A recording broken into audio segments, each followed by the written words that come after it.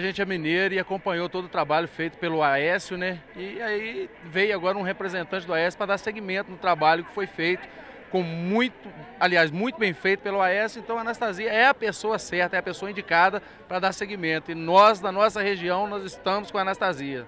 Hoje deixou de existir aquela grande empresa e hoje o pequeno também tem condições de ir e procurar o seu caminho no, no, no hall de mercado final. Quando a gente tem agora a oportunidade de dar segmento em pessoas que fazem realmente um trabalho bem feito, a gente não pode perder essa chance não, a gente tem que dar seguimento ao trabalho.